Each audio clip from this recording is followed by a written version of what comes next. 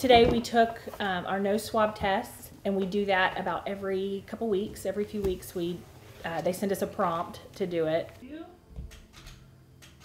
One, two. It's a little. It's, it feels a little weird. And it kind of hurts.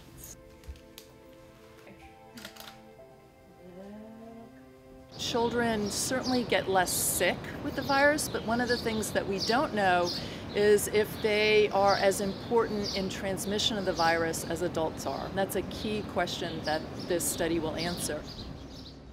Now, it's important because of opening daycare centers and schools and protecting our children and the individuals who work with our children um, in the schools. I'm gonna have two days of the week uh, at school and the rest of the week online.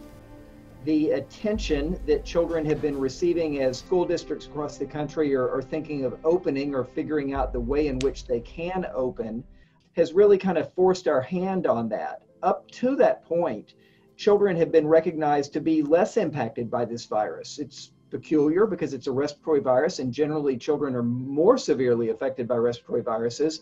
But for some reason, this one seems to affect children less.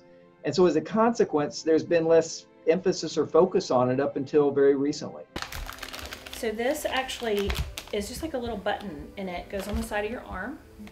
Um, you press the button, and there's a collection tube. These families are remarkable in that they are doing the sampling themselves. So a kit arrives um, at their doorstep, and all of the supplies are in these kits.